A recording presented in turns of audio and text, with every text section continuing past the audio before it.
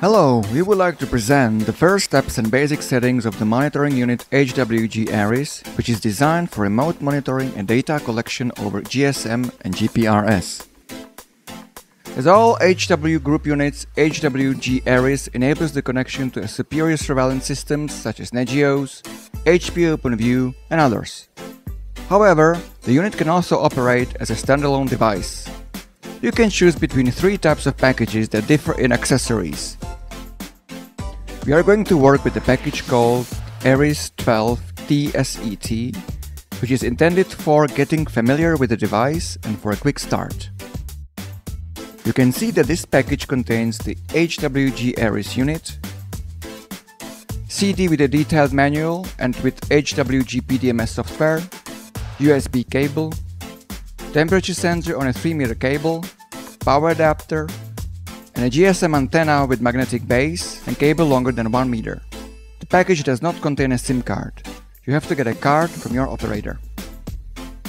Setting up of the unit is very easy. We insert the SIM card of your operator in the slot, connect the supplied antenna and temperature sensor. You can connect the sensor to any of the two available ports.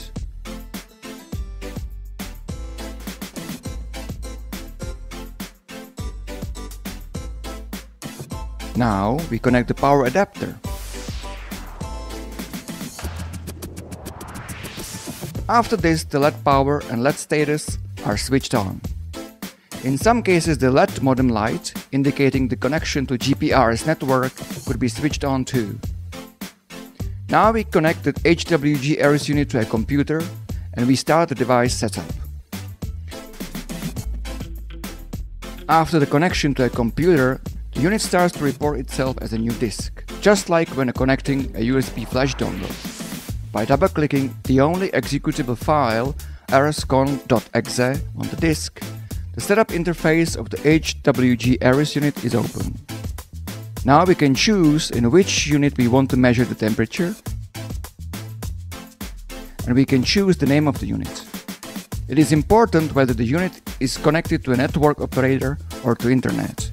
You can find this information in the modem status. If the modem status says ready to use or connected to internet, everything is alright and we can start to work. If modem status is not ready to use, you have to change to advanced mode and modify the connection settings in the GSM, GPRS, Internet tab.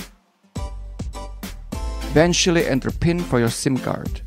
If you don't know your connection configuration, ask your operator or contact our distributor in your country. Now everything is alright and we can continue with the settings.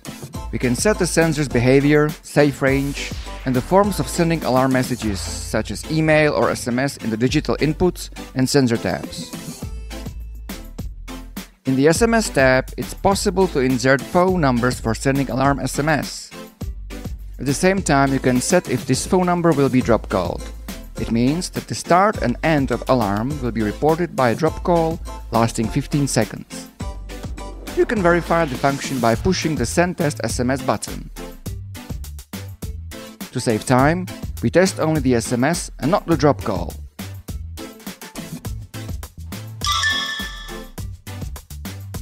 In the Email tab, it's possible to set addresses for alarm emails.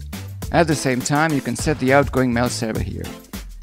You can get the outgoing email parameters from your operator, or eventually, contact our distributor in your country.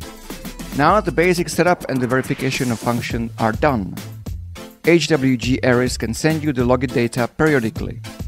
Eventually, HWG Ares can send the recorded data to some of the portal solutions such as SensDesk, HWG Nagios Collector, or HWG PDMS. For this you have to change to advanced mode in the portal tab. Enable portal functions, set URL and port. For testing you can send the data by the manual push button. Now we can see the result. Next time we'll talk about the configuration of the portal solution.